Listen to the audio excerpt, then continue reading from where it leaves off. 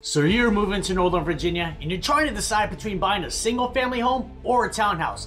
Well, in this week's video, I'm gonna break it all down for you with the pros and cons of buying a single family home versus a townhouse right here in Northern Virginia. And we're getting started right now.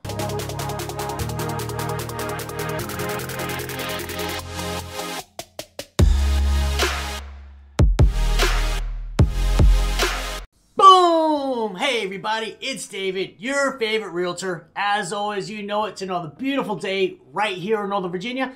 If it's your first time here on my channel, please do me a favor, hit that subscribe button because every week I release videos was like to live, work, play, pros and cons, top neighborhoods, cost of living, basically everything that you need to know about living right here in Northern Virginia. Townhomes versus single family homes. So literally anywhere from one to three times a week, somebody reaches out to me who's moving to Northern Virginia from another part of the country and they're like, hey David, we're looking for a single family home in that 800 to $900,000 price range. And I always follow up with this question, are you open to a townhouse? And nine times out of 10, they say, David, no way, no how. And the reason is townhomes may not be common at all from where they're coming from, or townhomes can be a lot smaller compared to the single family home, or maybe more geared towards first time home buyers, or maybe not in the best parts of town. However, that is not the case with townhomes here in Northern Virginia. In fact, townhomes in Northern Virginia make up a huge portion of the total homes. So if we look at the four major counties here in Northern Virginia, with Prince William, Arlington, Loudoun, and Fairfax County,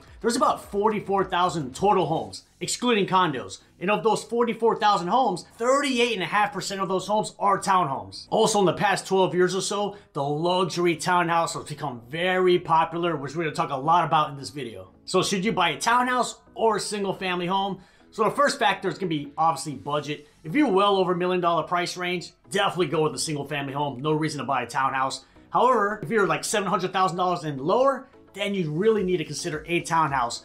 But for the purposes of this video, we're gonna focus on that 800,000 to $900,000 price range because in this price range, that'll get you a much newer luxury townhouse with all the bells and whistles or you can still get a very solid single family home, but chances are be much older, probably built in the 80s, 90s, or early 2000s. So before we dive into the pros and cons of each, what does a luxury townhouse and a single family home look like in that 800 to $900,000 price range?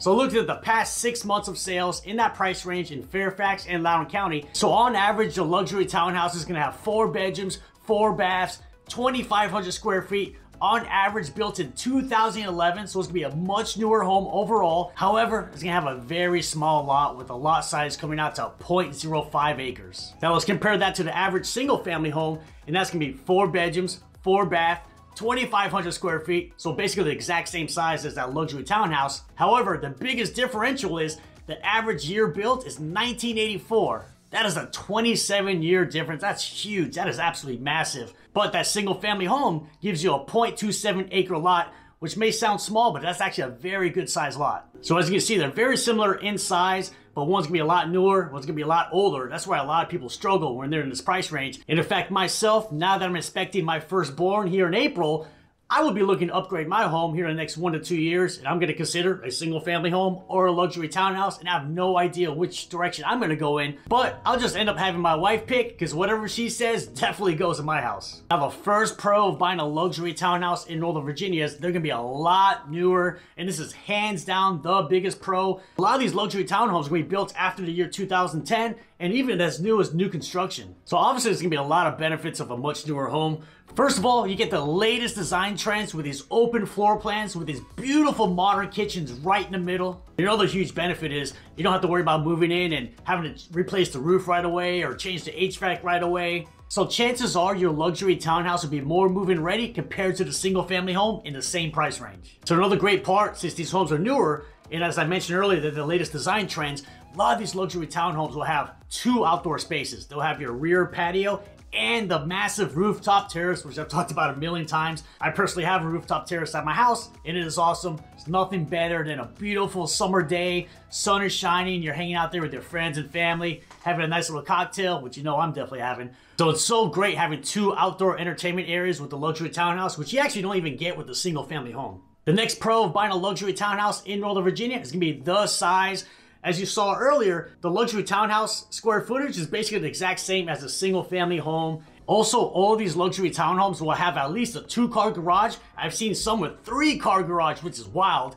And it's not uncommon at all for these luxury townhomes to be 3,000 to 4,000 square feet. That's literally bigger than a lot of single family homes that I see daily. So you have no problem raising a family of four in these luxury townhomes and you will not feel cramped at all. Now the next pro is a lot less exterior maintenance. So if you have no desire to cut grass or hire a landscaping crew, well a townhouse may be perfect for you because a lot of these townhomes will basically have zero exterior maintenance and some of these townhomes, they may have a small front yard and a small backyard to take care of. Maybe get a little little lawnmower, weed whacker, but overall, it's gonna be a lot less maintenance compared to a single family home. Now let's look at the cons of buying a townhouse in Northern Virginia. And the first con is shared walls. This is probably everybody's biggest con. At minimum, you're gonna have at least one shared wall. So with shared walls, obviously, you're gonna have a lot less windows. So that's gonna bring in a lot less natural light. A lot of people don't like that. However, if you get the end unit, usually that'll give you anywhere from three to six extra windows, which will give you a lot more natural light. Now, everybody's biggest concern with the shared walls is hearing your neighbors, you know, loud noise, things like that. But a lot of these luxury townhomes, they've been very well built by some of the top builders in the area. And I, me personally, I've lived in Northern Virginia since the year 2000, and 95% of that time I've lived in a townhouse.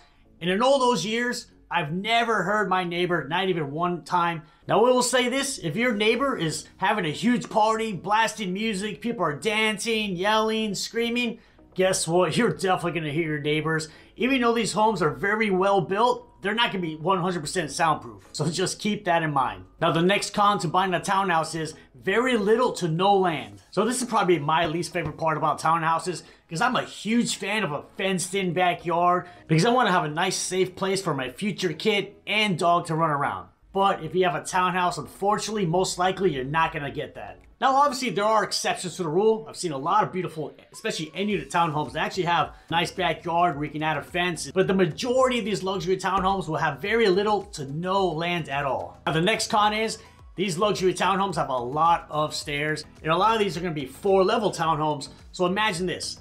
Your office is on the fourth level. And you go all the way down to your car and you realize, oh, I left my wallet and keys all the way in the fourth level. And you have to run all the way up by the time you get up, your heart's racing, you're tired. Then you start thinking to yourself, why did I ever buy a townhouse in the first place? But yes, one of the biggest cons of buying these luxury townhomes is a lot of stairs. Now off to single family homes. And the first pro of buying a single family home right here in Northern Virginia is no shared walls.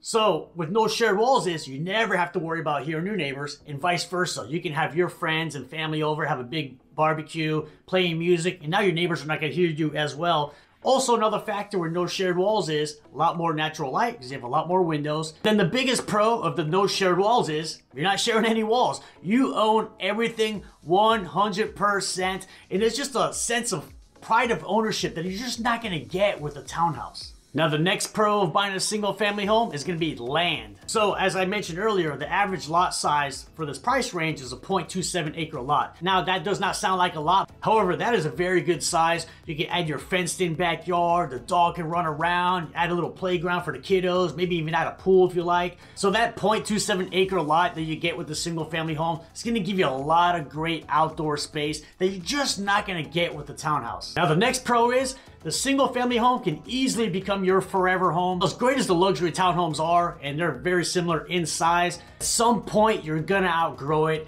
You're gonna want something bigger. You're gonna want that outdoor space. You're gonna get tired of the stairs. And as much as I love the luxury townhouse, I know they're not the forever home. Every single client I've helped buy that luxury townhouse, at some point they call me and they say, hey David, get me out of this townhouse. I'm ready for my forever single family home. Now off to the cons of buying a single family home in Northern Virginia. And hands down, the biggest con is they are a lot older. Again, for the purposes of this video, we're looking at those homes in that eight to $900,000 price range.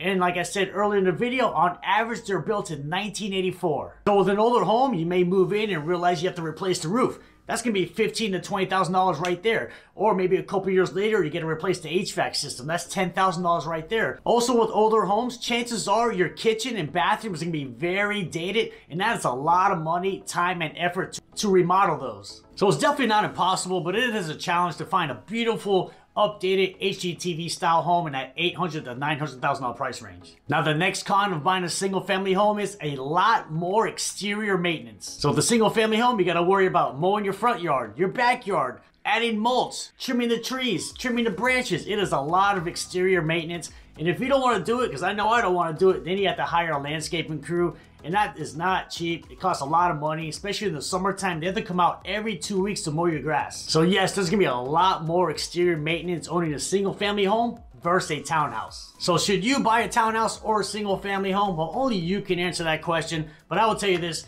if you're in a position in life to buy an 800 to $900,000 home right here in Northern Virginia, guess what? You're doing very good in life. But if you want to jump on a call or Zoom and kind of discuss what the best options are for you, reach out to me. You know I got your back. And if you want to learn more about living right here in Northern Virginia, check out these videos right here. They'll be great resources for you. And I'll see you on the next video.